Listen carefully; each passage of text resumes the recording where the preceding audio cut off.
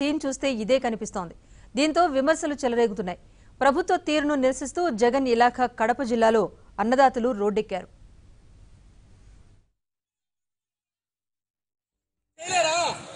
పోలీసులు చేయడము? అభినందనీయమే. పోలీసులు మంచిగా చేసేదేమో. అయితే ఇంత అద్భుతంగా చేసే రైతు అంటే బతకాలా?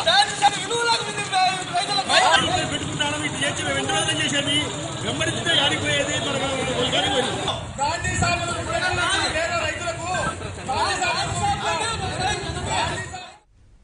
కరోనా విజృంభిస్తున్న ఏపీలో మందుకు కొదవలేదు. వైన్ షాపులు తెరుచుకుంటున్నాయి.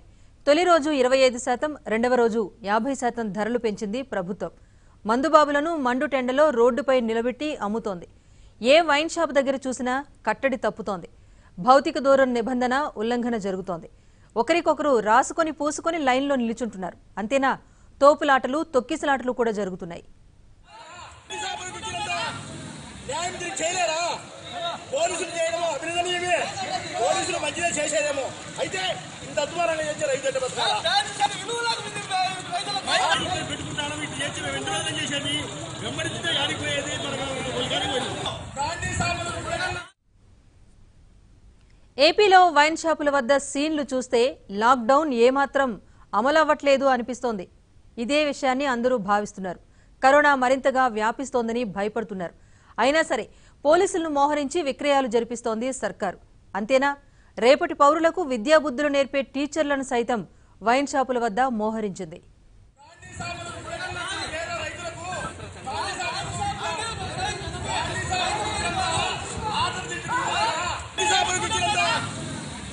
చేయలేరా పోలీసులు అభినందనీయమే పోలీసులు మంచిగా చేసేదేమో అయితే ఇంత అద్వారంగా చేసే రైతు అంటే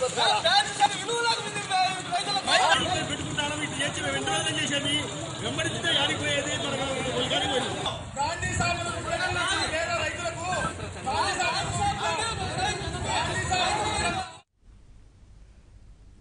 మందుబాబుల పరిస్థితి ఇలా ఉంటే రైతుల పరిస్థితి మరోలా ఉంది.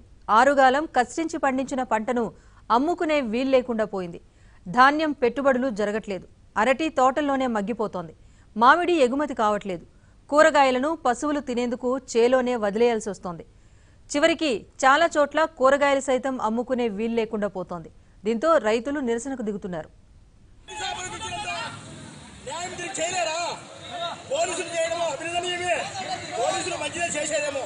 అయితే ఇంత అద్భుతంగా చేసే రైతు అంటే బతకాలా? రైతులు పెట్టుకుంటాను ఇటు చేసి మేము ఎంత రోజులు చేసేది? వెంబడిస్తే ఆడిపోయేది మనకు గాంధీ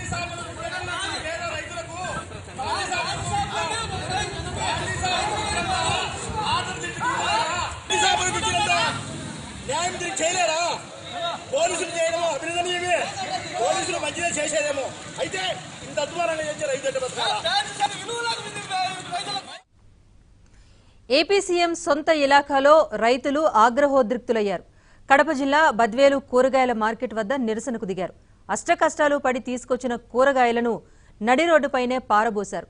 లాక్డౌన్ కారణంగా పోలీసులు అడ్డుకోవడంపై అన్నదాతలు వ్యాపారులు మండిపడుతున్నారు. కూరగాయల మార్కెట్ వద్ద భౌతిక దూరం పాటించాలన్న నిబంధనను ఎవరూ పాటించట్లేదంటూ వారందరినీ పోలీసులు చెల్లాచెదురు చేశారు. అధికారులు దుకాణాలను మూయించి వేశారు దీంతో రైతులు బస్తాల్లో తీసుకొచ్చిన టొమాటోలు నిమ్మకాయలు మిర్చిని రోడ్డుపై పారబోసి నిరసన తెలిపారు.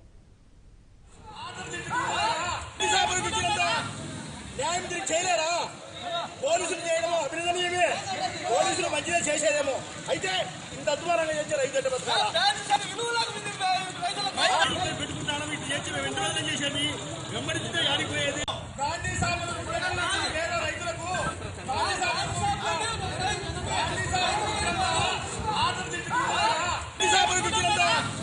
న్యాయం చేయలేరా పోలీసులు చేయడము అభినందనీయమే తాము తీసుకొచ్చిన కూరగాయలను అమ్ముకోవటానికి వీల్లేదు అంటే ఏం చేయాలి అంటూ వాపోయారు రైతులు.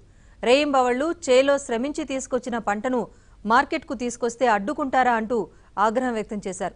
బ్రాందీ షాపుల వద్ద సామాజిక దూరం పాటించకపోయినా పట్టించుకోరు కానీ రైతుల దగ్గరకు వచ్చేసరికి అన్నీ కనిపిస్తాయా అంటూ పోలీసులను నిలదీశారు. ఇంత అధ్వాన్నంగా చేస్తే రైతు ఎలా బతకాలి అంటూ ప్రశ్నించారు. ఎన్ని రోజులు ఇలా తన్నులు తినాలి అంటూ నిలదీశారు. రైతుకు న్యాయం చేయాలంటూ నినదించారు.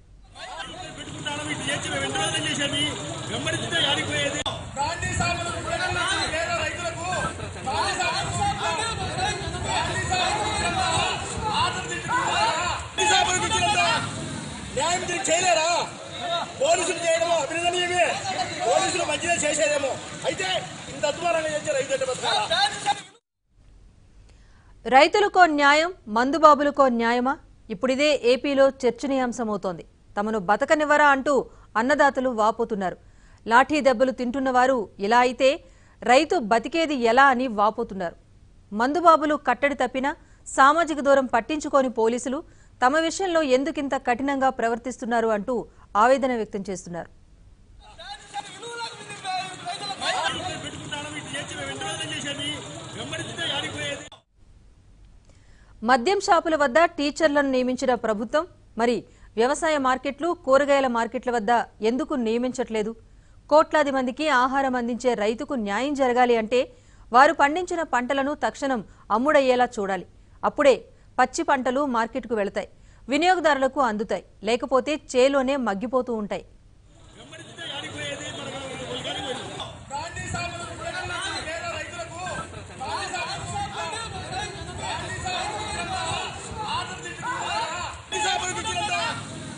న్యాయం తిరిగి చేయలేరా?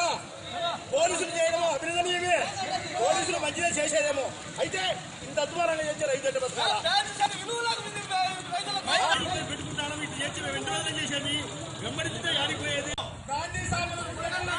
రైతులకు గాంధీ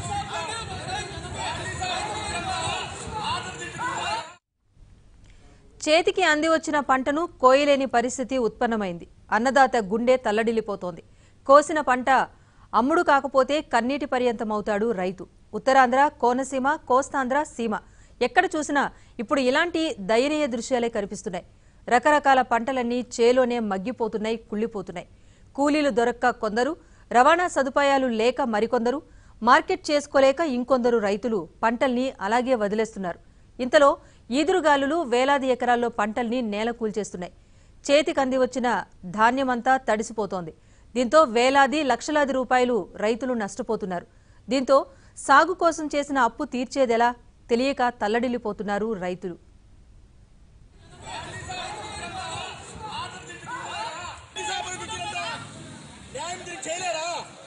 పోలీసులు చేయడము అభినందనీయమే పోలీసులు మంచిదే చేసేదేమో అయితే ఇంత అద్భుతంగా చేసే రైతు అంటే బతకాలా ఇక ఇదే అంశానికి సంబంధించి మరింత సమాచారం మా ప్రతినిధి శ్రీనివాస్ అందిస్తారు. శ్రీనివాస్ చెప్పండి రైతులు తమ ఆవేదన వ్యక్తం చేస్తున్నారు. ఆ దృశ్యాలు మనం చూస్తున్నాం. ఏంటి వారు? అధికారుల నుంచి ఏం కోరుతున్నారు? తమ పంట అమ్ముడు కావడానికి ఎటువంటి చర్యలు చేపట్టాలని డిమాండ్ చేస్తున్నారు? రాజేష్ ఈ రోజు సీఎం జో- జగన్ సొంత ఇలాకా కడప జిల్లాలోని బద్వేల్లో రైతులకు సంబంధించి ఒక సంఘటన బాధాకరమైన సంఘటన వెలుగులోకి వచ్చింది. ఈ రోజు తెల్లవారుజామునే రోజు మాదిరిగానే లాక్డౌన్ నేపథ్యంలో ముందే అతి కష్టాల్లో ఈ రోజు కూరగాయలు తీసుకుని వాళ్ళు స్వయంగా పండించిన కూరగాయల దళాలు కూడా మళ్ళీ వాళ్ళు పండించే కష్టాన్ని దళాలు గురించి దళాలు కూడా ముందే నష్టం అని చెప్పి వాళ్ళే స్వయంగా రావడం జరిగింది మార్కెట్కి. అయితే ఈ నేపథ్యంలో ఆ, మార్నింగ్ ఈరోజు తెల్లవారుజామున ఐదుకే అందరూ కూడా రెడీ అయిపోయి తీసుకొచ్చిన జనం రావడంతో క్యూలు నిలబడడం జరిగింది. అయితే కేవలం క్యూలో ఉన్న జనాలు సామాజిక దూరం పాటించలేదని చెప్పి అధికారులు అక్కడికి రావడం జరిగింది ఆరు గంటలకి.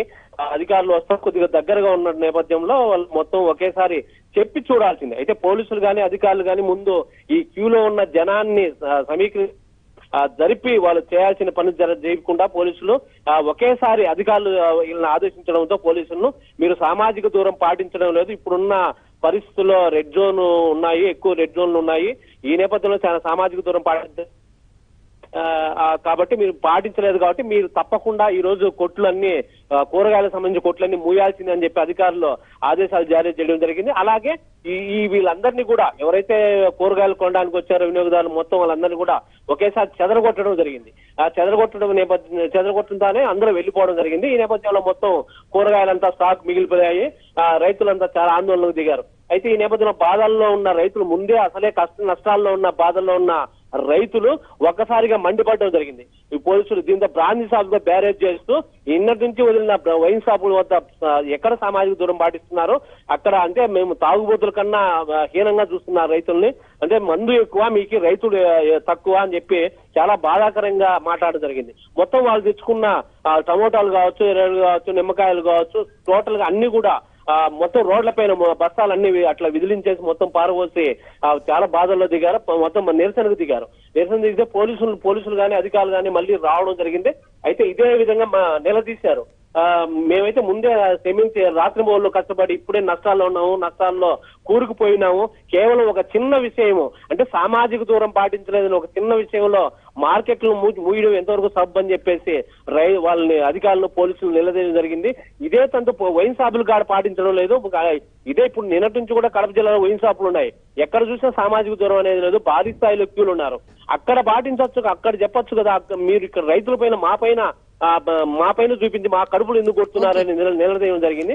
ఆ తర్వాత ఇప్పుడు టైం ఈ గొడవలంతా వివాదం అంతా అయిన మొత్తంలో మొత్తం కౌంట్ అవుట్ టైం పూర్తి అయిపోయింది. అంటే తొమ్మిది గంటల తర్వాత మళ్ళీ అమ్మేదానికి ఉండదు కాబట్టి ఆ. సమయం పూర్తి అయింది. ఈ రోజు అయితే ఈ రోజు మొత్తం మిగతా రైతులు మొత్తం నష్టపోయినట్టే అది థ్యాంక్ యూ శ్రీనివాస్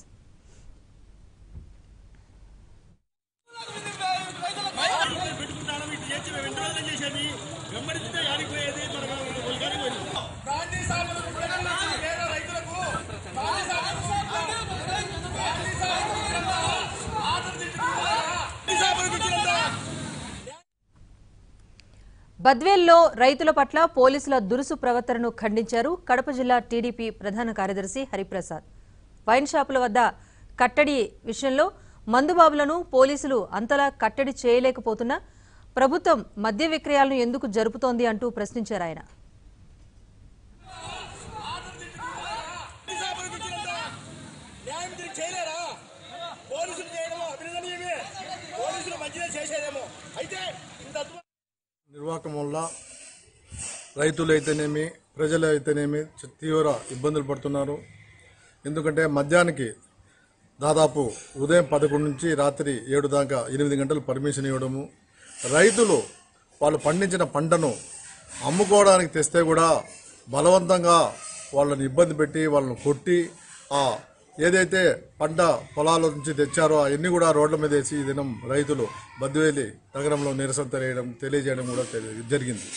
ఎందుకంటే మాకు తెలిసిన వరకు బద్వేల్లో ప్రజలు కానీ రైతులు కానీ చెప్పడం ఏమంటే ఇక్కడ అధికారులకు సమన్వయం లేదు. లేకపోతే నాలుగు పాజిటివ్ వచ్చింది ఇప్పుడు నాలుగు నెగిటివ్ వచ్చినాయి. అయినా ఆరెంజ్ జోన్ చేయాల్సిన అవసరం ఉంది. కానీ చేయకుండా మమ్మల్ని రైతులను ఇబ్బంది పడుతున్నారు. ఒక పక్క రైతులకు మేలు చేస్తామని చెప్తూనే రైతులను ఇబ్బంది పడుతున్నారు. ఈ దినం మేము ఒకటే అడుగుతున్నాం. మీరు రైతులు పండి పండించిన పంటను కూడా అమ్ముకోవడానికి వీల్లేని పరిస్థితి తెచ్చారే. ఏ విధంగా మీరు మద్యాన్ని అమ్ముతారు? మద్యానికి పర్మిషన్ ఏ విధంగా ఇస్తారు? ఇదనం ప్రతి ఊరు నుంచి కూడా ఏదైతే ఆరెంజ్ జోన్ బ్రాందీ షాపులు పెట్టారో అక్కడికి సైకిల్లో పోతున్నారు. వలస కూలీలు ఏ విధంగా ఒక ఊరు ఒక రాష్ట్రం నుంచి ఇంకొక రాష్ట్రంకి వస్తున్నారో ఆ విధంగా వేల మంది ఆ పల్లెలకు పోయి సరుకు తెచ్చుకోవడానికి ప్రయత్నం చేస్తా అంటే వాళ్ళని కూడా అడ్డుకుంటున్నారు. మీరు ఎందుకు అమ్మాలి అని మేము అడుగుతున్నాం. ఈ రైతులు ఇబ్బంది పడతా ఉంటే ఒక పక్క సీఎం గారము రైతు బా- మేము బంధువులము రైతు రైతులకు మేలు జరిగే విధంగా మేము చేస్తామని చెప్తూనే రైతులను ఈ విధంగా అన్యాయం చేయడం చాలా దురదృష్టకరం. ఈ దినం రైతులు కష్టపడి పంట పండించుకొని అది ప్రజల అవసర నిమిత్తమని వాళ్ళు అమ్ముకోవడానికి వస్తే వాళ్ళను లాటరీతో కొట్టి తరుముతూ ఉంటుంది. చాలా ఘోరము. ఎందుకంటే మీరు ప్రభుత్వం తరపున ఏదైతే బ్రాందీ షాపులకు ఉండి అక్కడ ఎవరిని కొట్టడం లేదు అక్కడ లాక్డౌనే లేదు. ఈ దినం నలభై నలభై రెండు రోజులు కష్టపడిన లాక్డౌన్ అంతా ఈ దినం ఈ మందు అమ్మడంతో పూర్తిగా పోయింది. రైతులు మాత్రం పంట తెచ్చుకుంటే వాళ్ళను కొట్టడము ఇబ్బంది పెట్టడము చాలా ఘోరంగా ఉంది. పోలీసు కూడా వాళ్ళ పద్ధతి మార్చుకోవాలి. రైతాంగానికి రైతుల కోసం ధరల స్థిరీకరణ చేస్తామన్న వైసీపీ ప్రభుత్వం దాన్ని గాలి కొదిలేసి వారిని నిలువు దోపిడీ చేయటమే పనిగా పెట్టుకుందని మాజీ మంత్రి నక్కా ఆనంద్ బాబు ఆరోపించారు. వైసీపీ నేతలు దళారుల్లా వ్యవహరిస్తున్నారని అన్నారు. లాక్డౌన్ వల్ల రైతులు తమ ఆవేదనను రోడ్డుపైకొచ్చి చెప్పలేని పరిస్థితి నెలకొందని ఆయన అన్నారు.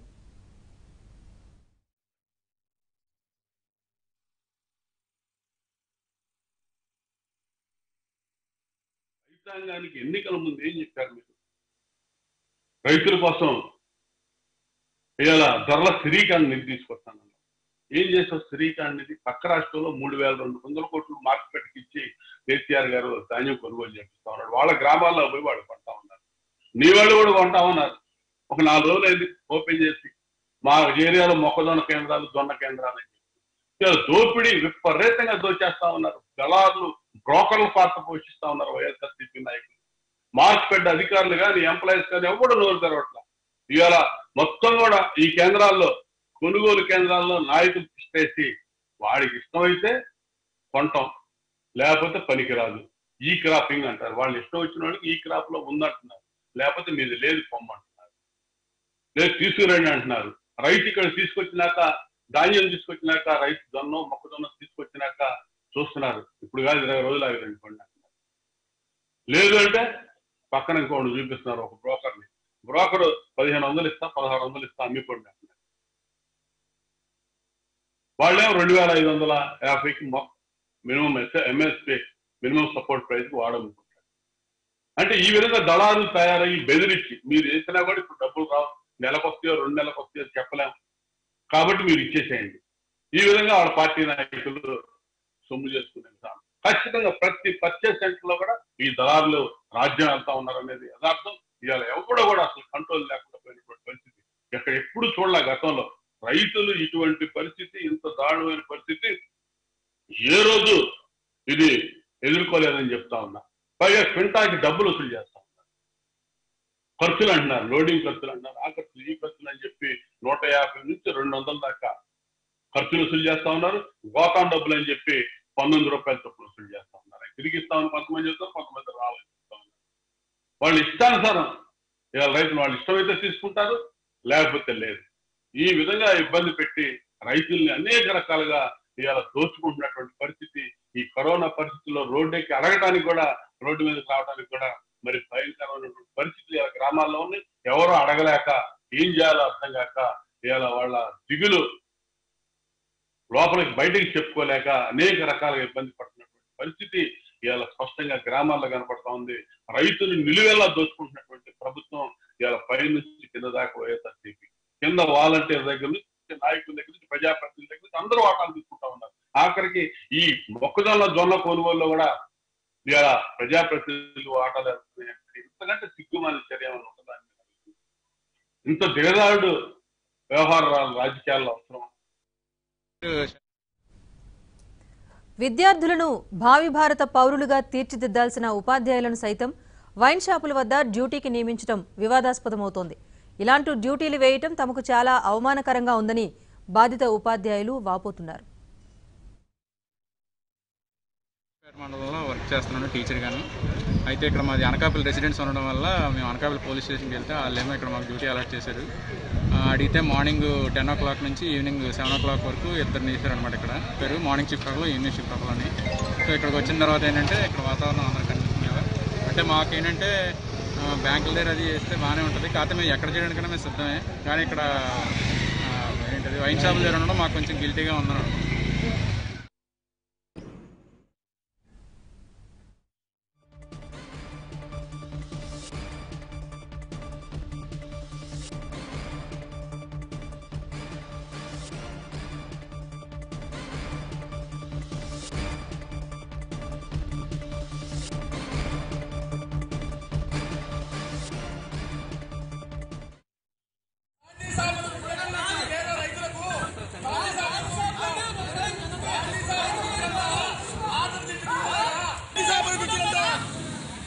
న్యాయం తిరిగి చేయలేరా పోలీసులు చేయడము అభినందనీయమే పోలీసులు మంచిగా చేసేదేమో అయితే ఇంత రైతు అంటే బతకాలా?